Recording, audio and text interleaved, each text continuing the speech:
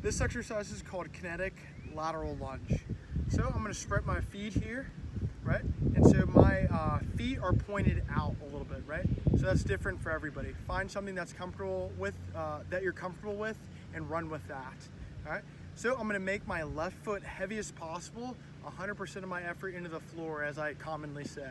So I'm gonna slowly lower myself down, sinking into my glute here until I get to my lowest range here. And I'm gonna continue pressing through the floor as I come up. And then I'll go to the other side, right? So I'll slowly sink down while pressing my foot into the floor as much as I can. Get to the lowest range that I'm comfortable with.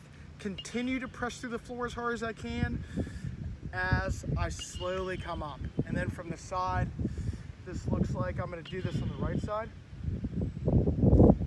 So I'm gonna, I'm gonna ramp up by pressing my foot into the floor.